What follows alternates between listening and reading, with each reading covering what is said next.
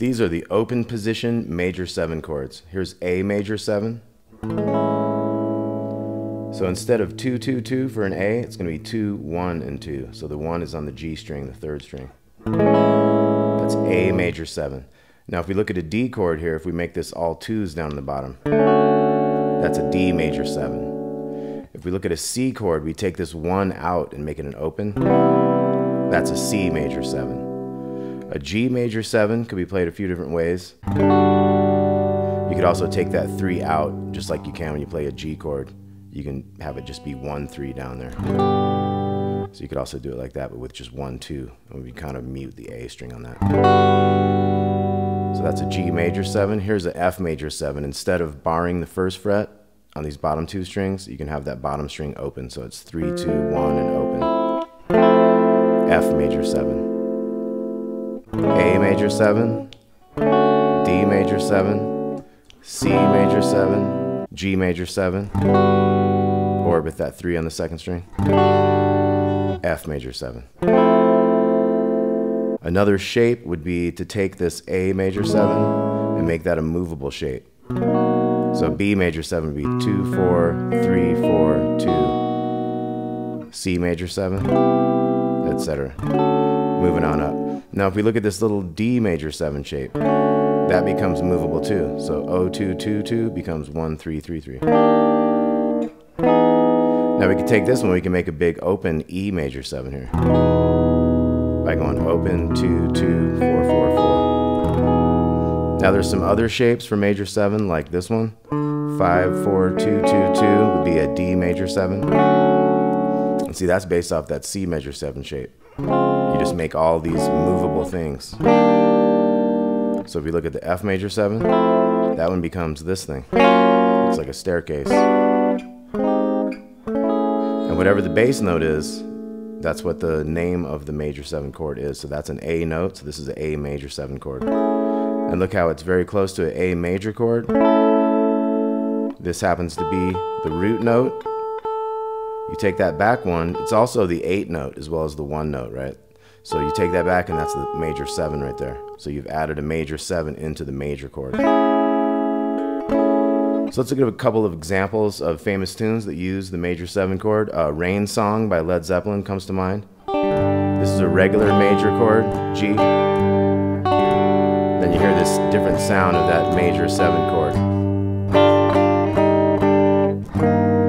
So he went from major to major 7, and then when he took that major 7 down, that's a flat 7. So that's like a dominant 7. So that's a G dominant 7 right there. So major, major seven, seven.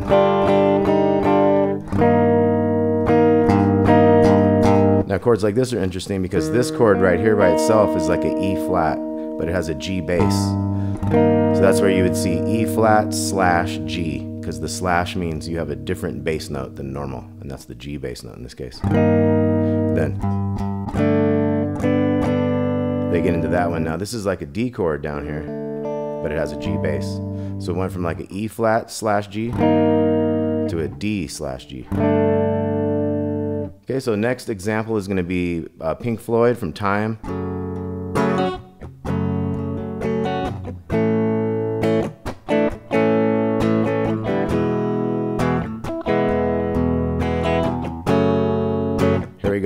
Major seven. D major 7, A major 7,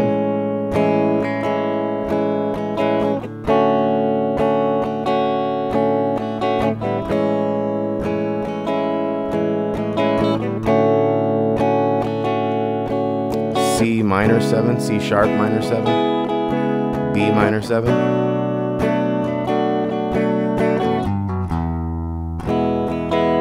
Okay, so that was the D major 7 used in that song to the A major 7.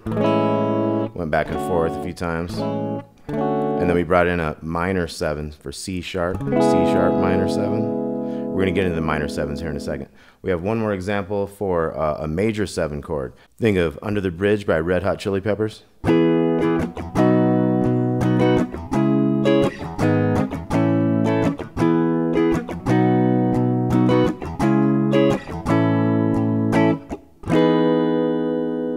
That's another major seven chord. So in this case, it's the seven, nine, eight, nine, seven. Okay, so we'll move to these minor sevens. So like I said, that was a minor seven from that previous tune, Pink Floyd one. So say if we take this up to the fifth fret here, I'm going to give you an example of a Doobie Brothers tune.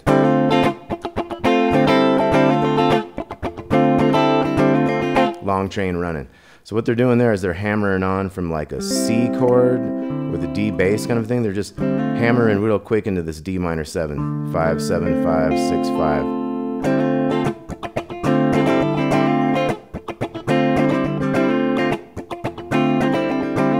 Okay, here's another example, and I like to relate it to this chord to get, show you the difference between the two sounds. So this is that Long Train Running Doobie Brothers. It has that power chord note in it, that fifth. Now look at, let's take this up to E. Let's look at Josie by Steely Dan. This does not have kind of this grounding note, this power chord note. They take that out and they play it like this. It's much more spacious and kind of open as opposed to be really like heavy, you know, grounded, like I say. It has a lot of like, that's like jazz chords. They leave out that fifth a lot because they want it to be more spacious and kind of free sounding. So, so that'd be like the seventh fret on the A string. Then you have like a D shape on these bottom strings down here like this, but you have to play it with these other fingers.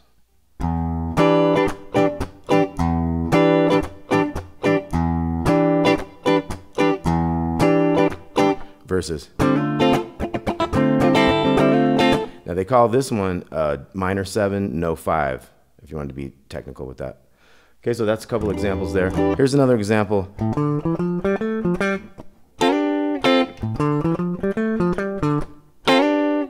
That's So What by Miles Davis. He's also kind of using that D minor seven chord there.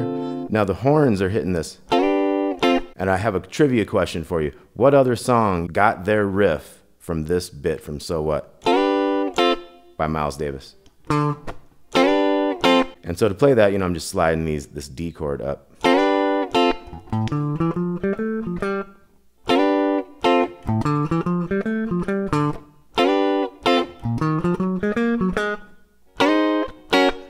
In that song, they just go up a half step a little bit and then they come back.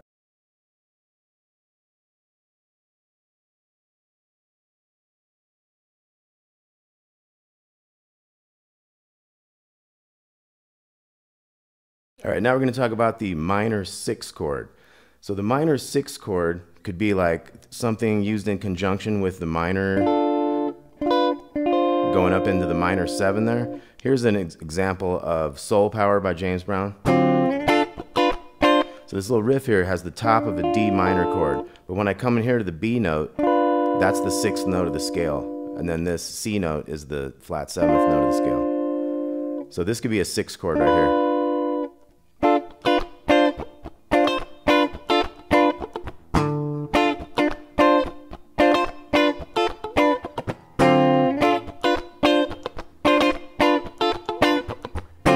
And this is a cool chord. We're going to get into this later. That's called a raised nine chord.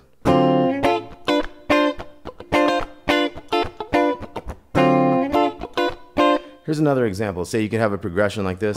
Here would be a minor six also. So this is like five, three, four, three. That's a, a C, seven, nine.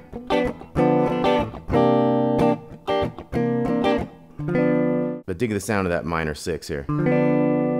It's different than a minor seven. You hear that sixth note, that B note. So it has an interesting sound of its own.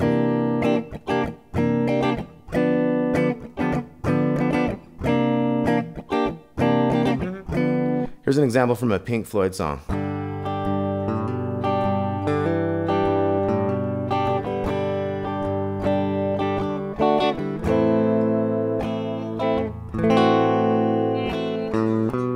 That striking that can be? That, so that'd be like an open two, two, one, two. So it's A minor with a two on the bottom string.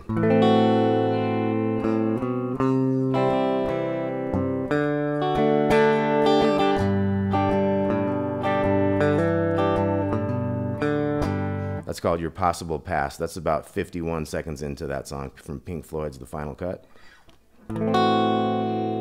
So that's a very strong usage of it there. A lot of times it'll be in a funk thing like.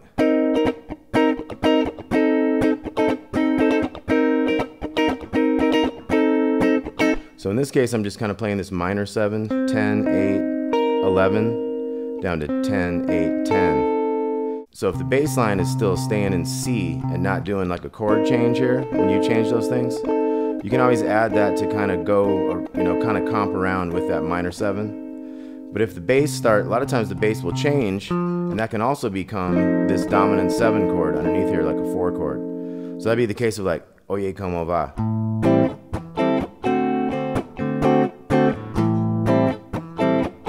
So here's your A minor 7, and it could be like that as well.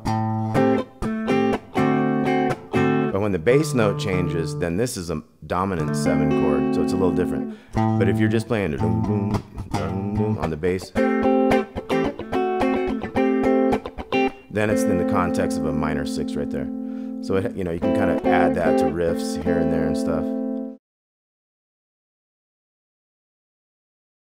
Dominant 7. Okay, blues chords. Let's look at all of our dominant 7 open chords. Let's say A7 instead of 222, it's 202. So A string and then 202 open. D7 is open on the D and then 212.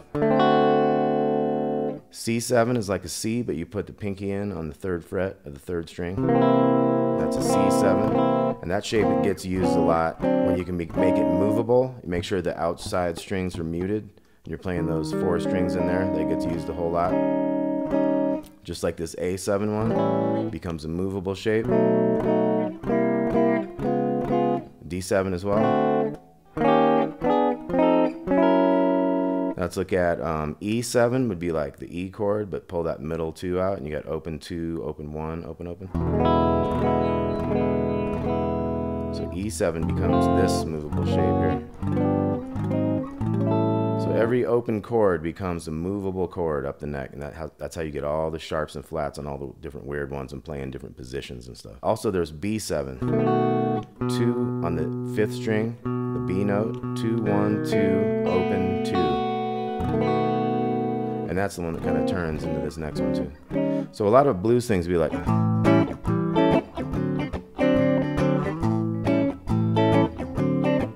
That's going from the one note of the scale to the four note. That's and then the fifth one eventually will hit. That's going to be a one, four, five. That's what it means when they say that. That's the notes of the scale. One, two, three, four, five, six, seven, eight of a major scale. So this is the one, two, three, four, and five. So when, you, so when your bass note is on those strings, here's the five, to the four, you could do that with all the notes of the scale. Say if this was the one, B minor would be the two, C sharp minor would be the three, and those are minor threes. D is the major four, E is the major five, stuff like that. F sharp be the minor sixth, and G sharp minor seven flat five would be the seventh chord. Okay, so once again we got.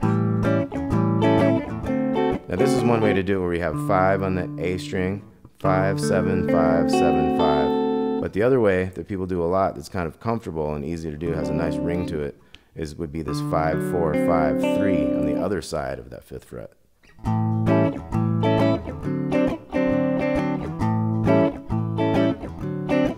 I'll go up to the five, which is E.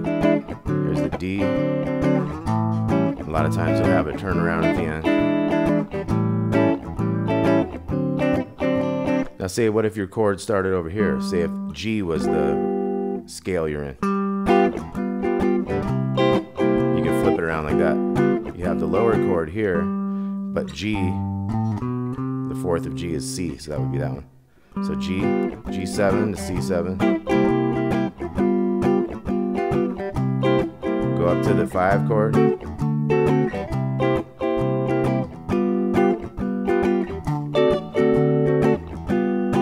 take a look at this G7 down here. Now, there's another version here. Three, two, three, four. It's another cool one too.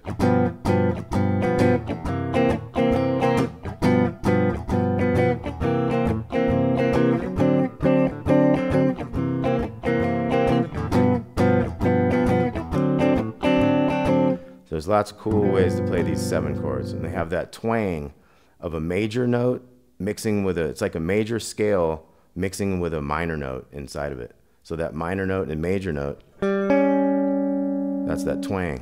Say you got a major, but then you put the the flat seven in it. Still have that major note, but you got that minor note right next to it. There's another way to play it. Put your pinky on the, like the eighth fret in this case, the second string.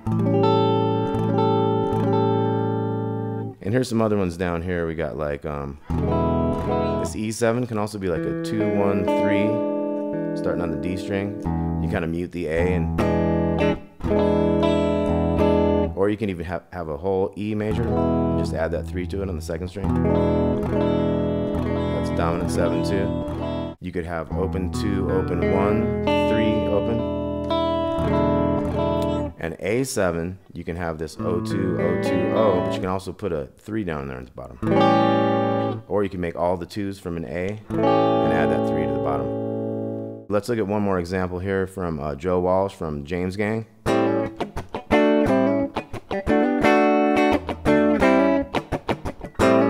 So he's not doing this full chord, but he has his A in the bass, and he's hammering this is a big dominant seven effect when you hammer from the minor third into the major third.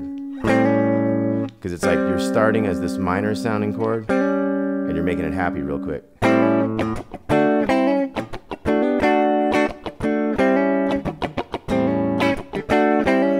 So he is creating the effect, juicing the sound, if it were, of that A7 chord by doing that riff right there.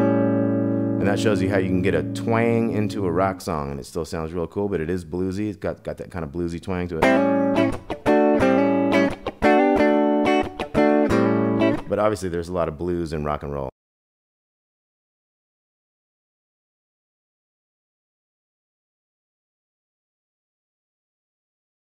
Let's move it on and give you another example. Here's Mary Had a Little Lamb by Stevie Ray Vaughan. We're going to use some more seven chords here.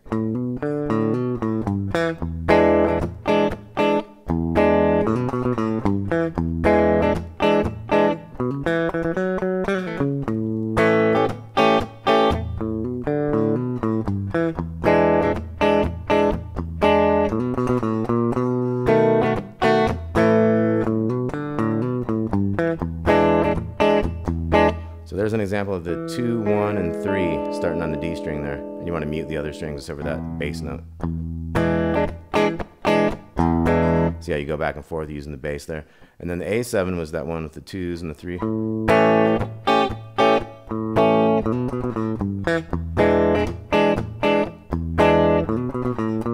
got that B7, 2, 1, 2, 0, 2.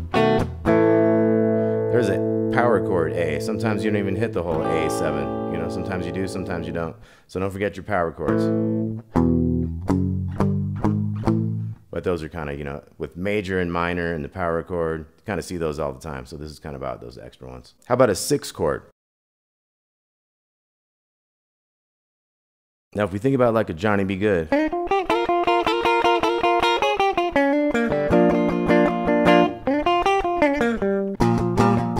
That kind of a chugging, kind of a honky tonk riff. So that's called a six chord. So you have a power chord here. This is in B flat, so it's on the sixth fret in the big strings. You're going to go to this 10th fret with your pinky. That becomes a six chord. It's only the one and the six. So you're going from a five chord to a six chord.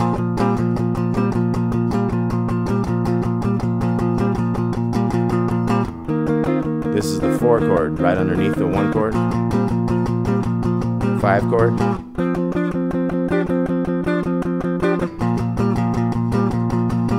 So that's your six chord. That's kind of a honky tonk, boogie woogie kind of six chord. So.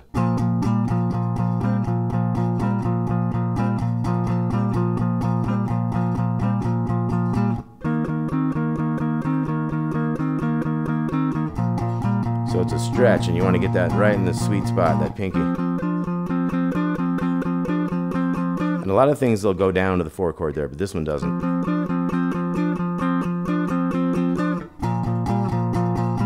one more riff from that song.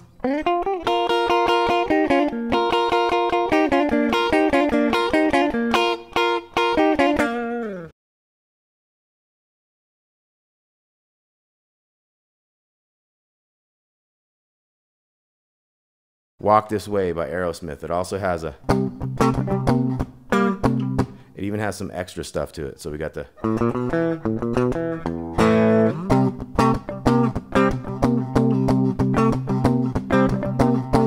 So this goes from the to the six to the flat seven up here too. And then it kind of goes to the one down here with the power chord there. And comes back on the way back.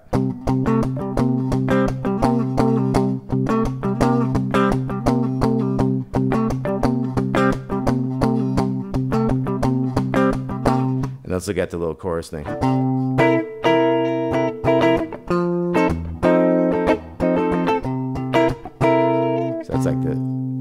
C7.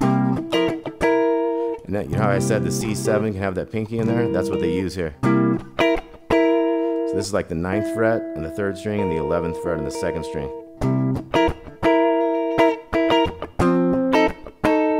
And that becomes the 8 and the 10. So it's like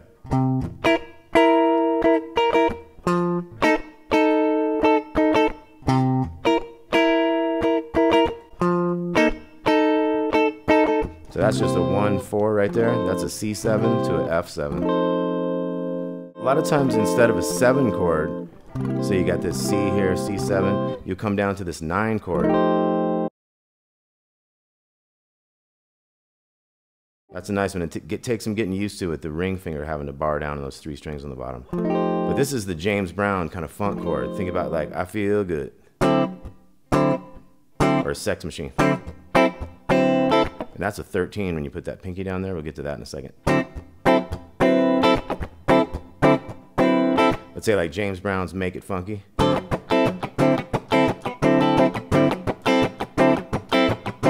So that is kind of the quintessential funk chord right there. That's a dominant seven, because you got your dominant seven, but the ninth note of the scale is added. That's the E note right there. That'd be the fifth fret of the second string. So if you want to know about some James Brown riffs and James Brown chords, I got a link here to take you over there some more lessons when you're done with this one. Okay, so let's look at the next step of that seven chord.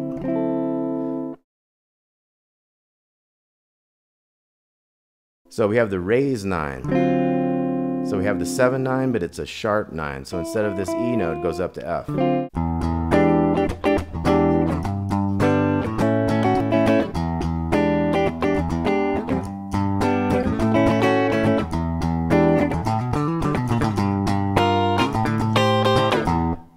so that's the purple haze chord is what I call it. Dominant seven, raised nine. So this would be like, in this case of the seventh fret, you could use the E, big E with it as well.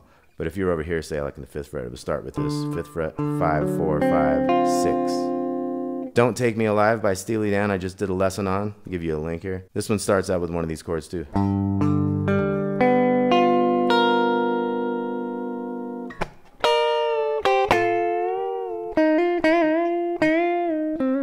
Etc. So there's lots of different ways to do it. This is a common way, like taking your dominant seven chord. Remember how we talked about that pinky on the second string? Well, if you put it on the first string too, you can get one of those raised nine chords. Another thing with raised nine chords that happens a lot in like a jazz tune would be like you consider this like the kind of the five chord. You could give it a raised nine down to a flat nine down to like your your one. So say the G is like one, two, three, four, five. That's the five of C. So on the five chord, we could do a raised nine to a flat nine to like a major seven on the one. And that was another way to do a major seven. Think about we had this shape down here where you can kind of tuck this in over here. It looks like a minor shape on the bottom, but if you have that C bass here, that's another way to do a cool major seven. Okay, one more example of a raised nine. Think about Taxman by the Beatles.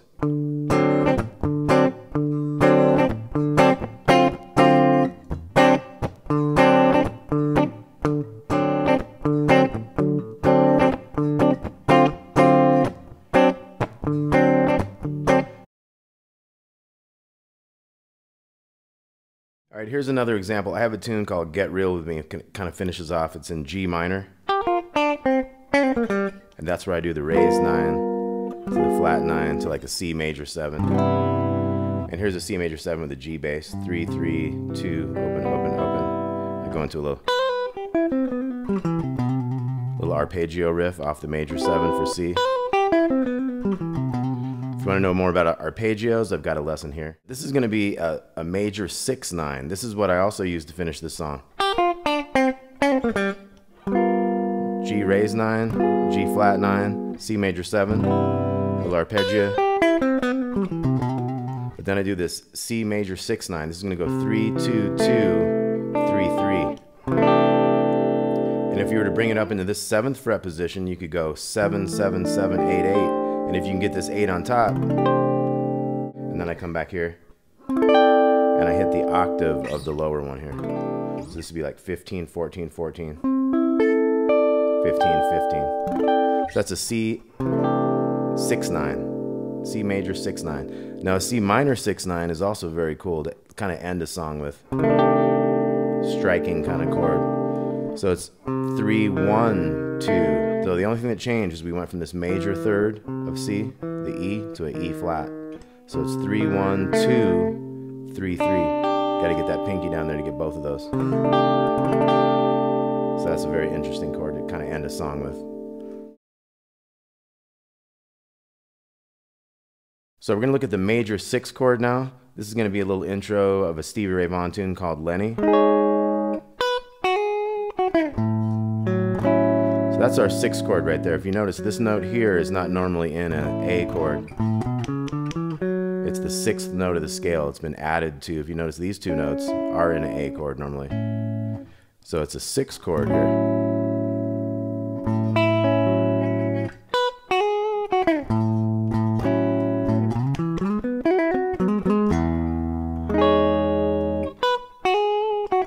Back to the six, and then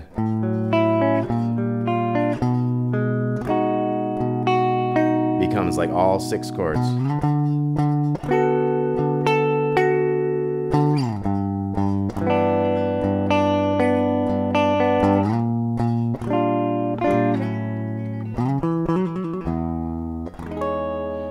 That's a six chord. You got the fifth fret on the big string, nothing on the A, and then you got fourth fret, and you got six and five, and you mute the little E. That way it becomes a movable chord wherever you want it. Okay, so check out Lenny by Stevie Ray Vaughan. I've got a video on that one too. Now we're going to talk about the diminished chord. Let's say if you had like a 2 5 1, it'd be like a D minor 7 to G7, C. A lot of times right here they'll put in a a diminished chord that's like a half step up, moving up to that next chord. So it's like C, C sharp diminished, which would be like fourth fret, and then five, three, five. The other one that's very commonly known is this one. As long as you have, like in this case, if I want a C sharp, as long as I have a C sharp, that's a C sharp there. And this little shape, that's a diminished shape. Interesting thing about diminished, couple different things. One is you can take that chord up three frets, keep going three frets, and it's always just a different inversion of the same chord. The other thing is all of the notes of that, like G, C sharp, E, B flat, or A, a sharp, all of those notes are all the name of that chord. Any one of those could be the name of that chord because all of those other notes have to be in that chord because they're all spaced three frets apart. They're spaced a step and a half away from each other. So if you wanted to do a, a scale for this thing, those would be where you'd find all the notes. Say if you started on C, C, E flat, G flat, A, C. And all of those chords, as long as you had like a say a C in it, so here's a C, those would be the same chord each time. So let's do a couple examples of a diminished riff. So here's a song by the Grateful Dead called Deal. It gets into the chord progression. D to D diminished. See how that works? Just kind of like walking up to the next note, making that a diminished, gives it a cool moving around, kind of kind of out there kind of feel, right?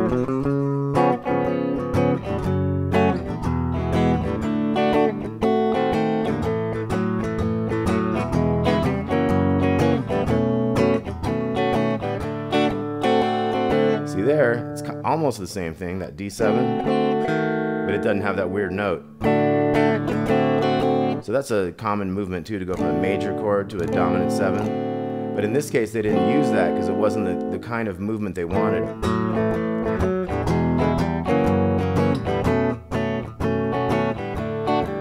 So you don't use it there. Here it's going to come in a second. It's got that wacky sound to it? So here's an example of using a diminished riff within a riff that has other things in it. So this is Slipknot by the Grateful Dead.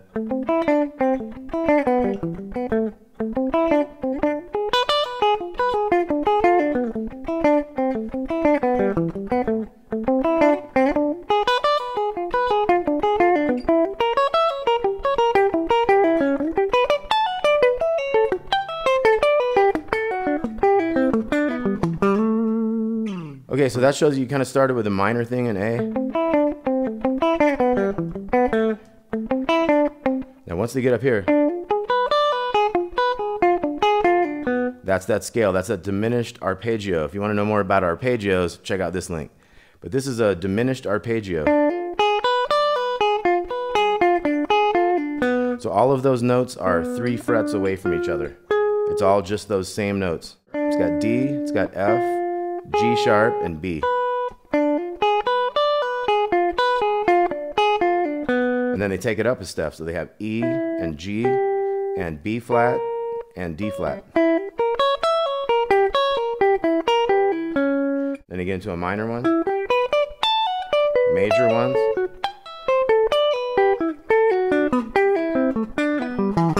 and with all majors. But they started with minor, they went into diminished, to move around. They kind of had like a minor one here. They go into some major ones. So that's an example of using the diminished.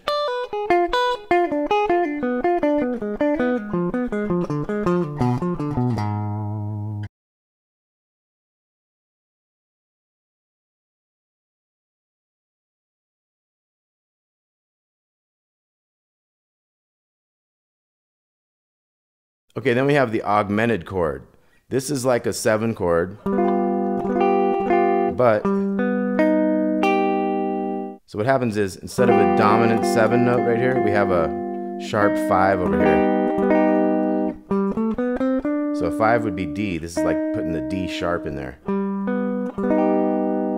Think of Ophelia by the band.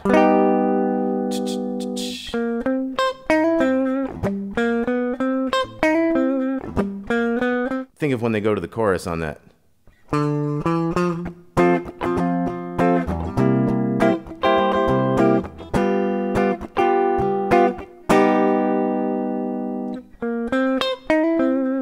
Example is Oh Darling by the Beatles. That'd be like seven on the A string, seven, six, five, five. Oh darling, please believe me. So you guys know the sound of that one. Okay, so that was an augmented chord. Let's look at this minor nine. So we had this minor six earlier where we had five, three, four, three. Now if we put the 5 down here on the second string, that becomes a minor 9. So instead of this sound,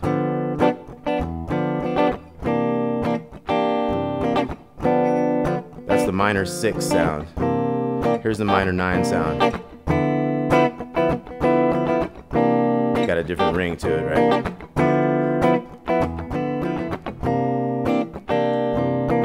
Here's another example. Here's a minor 9. 5, 3, 5, 5, 5. got the minor note, we've got the flat seven note. This is the nine note right here.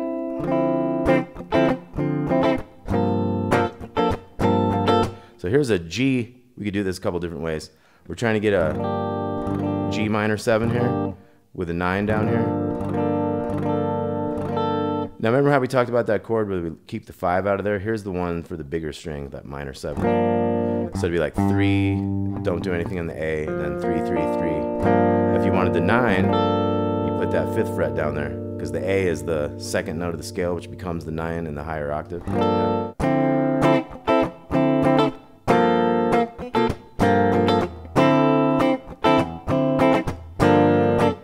however you want to do it. Now if we put this pinky down here, we got a minor 9 13th.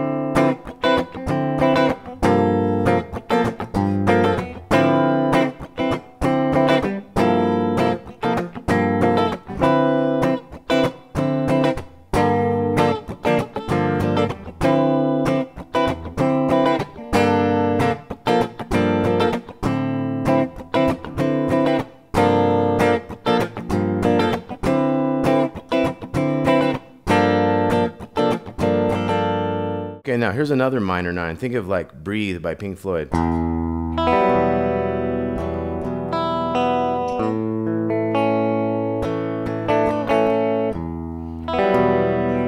So instead of E minor there, we're going to have this the F sharp again added to the E. So F sharp is the second note of the scale, so that becomes the 9 in the higher register, right? So that's an E minor 9. O, 2, 4, open, open, open.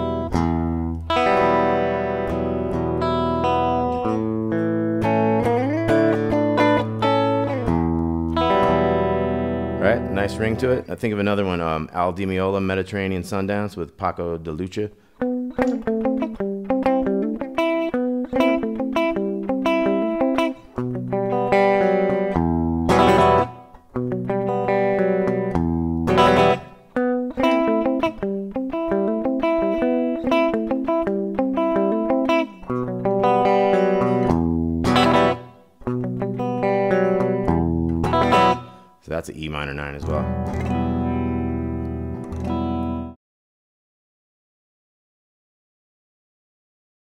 Let's talk about slash chords. The kings of slash chords is like Steely Dan. So a slash chord, one example, any anything is like say if you had an A chord, you had a different bass, like say you got a B bass on that. So Michael Jackson had a lot of those where he'd have like a A major, but it'd have a B bass, so it'd have like a two in the bass. That kind of stuff. This would be another example. You got like a C chord on the bottom here, 553, but you got a D bass. Kind of sound. So even Bill Withers like used that one in um, Lovely Day. He has that kind of thing. So here's an example of Steely Dan. They're to have um, Josie. Let's look at the chorus of Josie. And this uses a lot of the chords we've talked about. So this is a raised 9 off the F sharp. That'd be like 9, 8, 9, 10. And this is an augmented chord. This is a B, B7 augmented type thing. So you got 7, skip 1, 7, 8, 8. So you got that sharp 5 in there that makes it augmented. So we got a raised 9 on the F sharp, augmented on the B. We got an E minor 7. Now this is going to be one of these slash chords. So they have a four in the bass a lot of times in Steely Dan stuff. So this is a C chord. The fourth note of C is F. So we have an F in the bass. So we got same chords here. E minor 7 to A7 this time. Then they go A minor. Always interesting when you go from a major to a minor in the same chord. You know that's a modulation to a D7 9 James Brown funk chord. Let's go over those again.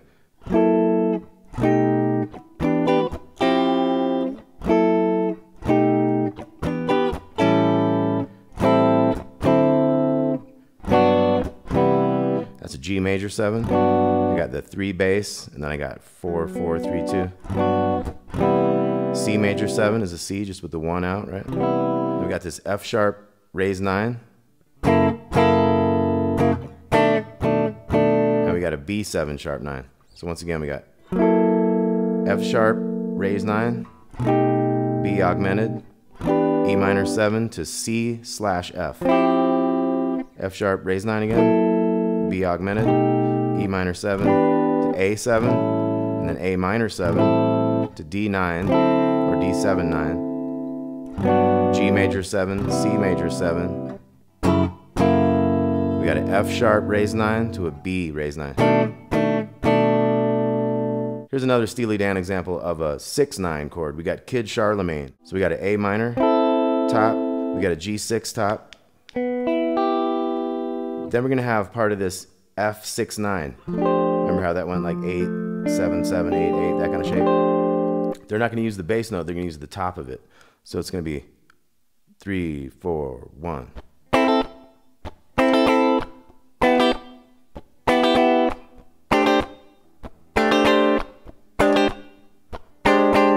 And here's another 13 I didn't talk about. So if you have a dominant 7 chord, if you were to come back here, oh, here's the other thing about a dominant 7. A lot of times if you don't want the 5 in there, you would make it like a D shape on these 4th, 3rd, and 2nd strings and use your bass note up here and not have that 5th in it. Just like a minor 7 would be like that. Now if we do this thing to it, we put this note up in here, so we're to have like 6 in this case, is B flat, 6, skip a string, six, seven, eight. Now we got a 13 in there. Just like. Had to do this near the open, it'd be 1, open, 1, 1, 1, 3. That'd be a B flat, 7, 13. And that's the same up here. So once again, the Steely Dan song. three, four, one. F6, 9. B flat. B flat 713 on that one. Thanks a lot. Please like and subscribe. We'll see you soon.